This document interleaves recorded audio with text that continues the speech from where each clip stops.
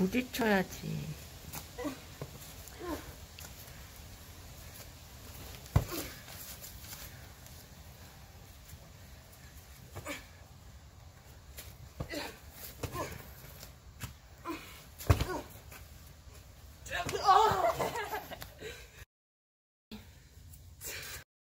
서로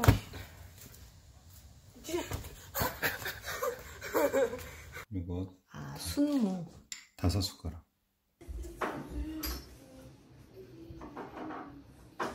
약간 이렇게 잘 논다. 아무나 하는 게 아니라고 이거 아무나 스냅이 줘야 된다고.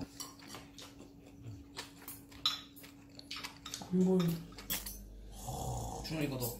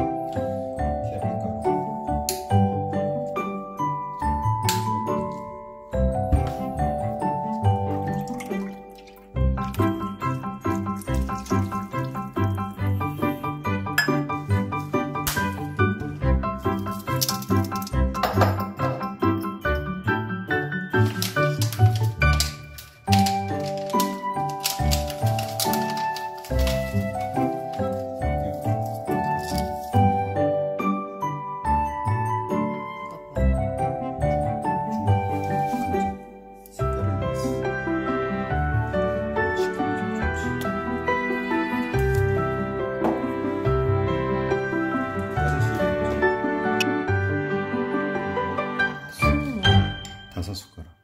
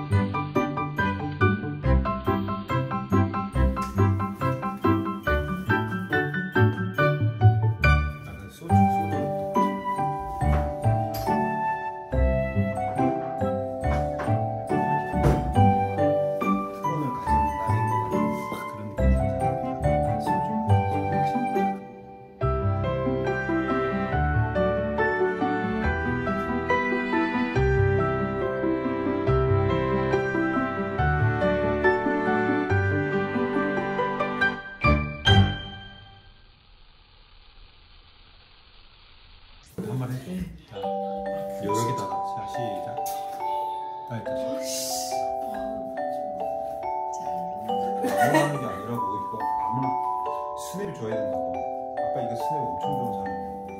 나도